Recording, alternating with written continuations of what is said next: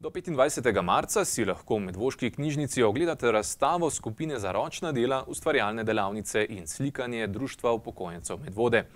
Gre za tradicionalno marčevsko razstavo, ki pa se je tokrat, kriv je bil koronavirus, vendarle odprla drugače kot sicer brez uvodne prireditve in marčevsko obarvanega druženja s pobratenim društvom upokojencev Kočevje. Članice se tudi letos predstavljajo z uporabnimi pleteninami, pa tudi z novimi izzivi letošnje sezone, med drugim z izdelki iz ostankov blaga in izdelki, ki so nastali v delavnici postenja. Skupina za ročna dela je s svojim druženjem pod okriljem Društva pokojencev Medvode začela že pred tremi desetletji, ko so se ljubiteljice ročnih del, predvsem je šlo za pletenje, kvačkanje in vezenje, začele enkrat tedensko zbirati v društvenih prostorih. Zadnja leta, ko skupino vodi Majda Tratar, pa so tradicijo dodale še druga, kot pravijo, novodobna ročna dela. Majda Tratarjeva se ni zmotila, ko je navabilo zapisala, da pač je to deveta razstava. Ja, skoraj vsako leto naredijo zmeraj kaj novega. Tako je tudi letos. Žal nimamo slovesne ali pa pač s kulturnim programom povezane otvoritve. So pa izdelki res taki, da nekateri kar presenečajo. Tokratna razstava v knjižnici Medvode je torej že deveta po vrsti, tokrat drugačna tudi zato, ker se niso odločile za temo razstave. Letos nismo si dale za nalogo kakšno temo, ampak smo rekle tako, to, kar delamo, to bomo pokazale. In potem je to tako.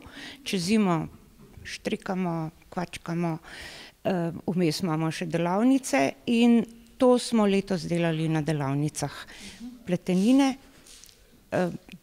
zajčke, pirhe. Poudariti pa moram, da smo se učile poljstenja. In sicer mokrega poljstenja, pa smo, da imaš neki cilj, smo naredile ogrlice iz kuglic z mokrim poljstenjem. Potem smo pa še jajčka stiroporasta oblekli v volno, pa smo se učile še suhega poljstenja. To je bila tema zimska. Tudi zato tokratna razstava odraža velikonočno razpoloženje. Poleg spretnosti, ki se prenašajo iz roda v rod, se v skupini torej spopadajo tudi z novimi izzivi, novimi tehnikami in novimi materiali. Na prvi delavnici v letošnji sezoni so se odločile porabiti ostanke blaga, zato so šivale igračke, pajacke za otroke. Na drugi delavnici so kvačkale božičke in novoletne čestitke, na tretji pa so se, kot rečeno, učile poljstenja surove volne. Pravzaprav starejše članice rajši pletejo, kvačkajo, tako tradicionalna ročna dela delajo nove članice, vključno z mano pa rade še potem nekaj ustvarjamo v, mi temu rečemo ustvarjalnih delavnicah. Stalnih torej po stažu starejših članic je dvajset in vesele so, da so se jim v letošnji zimski sezoni pri ustvarjanju pridružile še štiri nove. Ja, dejansko res je, novinka sem v tej skupini. Upokojenka sem in nekako čas bi želela si zapolniti tudi z ročnimi deli, zelo rada štrikam in druge spretnosti ročne obvladam. Zato sem pač prišla v to skupino, zelo dobro se počutim v tej skupini. Naša Majda je krasen motivator, zna pač pritegniti tudi celo skupino k delu, in ko smo pustile, smo zelo uživale, in ko smo štrikale, smo zelo uživale in tudi ostale stvari, ke delamo, tako da se zelo, zelo dobro počutim v tej skupini. In se mi zdi, da nekako je, se to odraža tudi na zunanjosti nekako in je človek bolj motiviran in sprejet tudi drugje, no, in samo zadovoljstvo ima človek tudi. Poleg kdaj se boste vi pridružili tej skupini? Ja, jaz sem zdaj v stanju, ne, da opuščam nekatere dejavnosti, nekatere sem že opustila. Naslednje leto bomo proslavili sedemdesetletnico društva, je volilni občni zbor in že načrtujemo zamenjavo organov. Uh, ampak vseeno, kaj je tisto, kar vi najbolj občudujete od teh ročnih del, ki se prenašajo iz generacije v generacijo? Ma skoraj vse. Ne? Tudi to spremljam, da se vrača spet čas nekdanjih babic, ko so svoje otroke opletle, ali kako naj se izrazim, in šivale. Ne? Ne vem, vsak izdelek je ne, prav gotovo je unikaten in vreden občudovanja. Če bi rekli najljubši izdelek letošnje sezone oziroma letošnje zimske sezone, če ste rekli takole? Takole, ja. Um, moj najljubši izdelek je bil pajacek.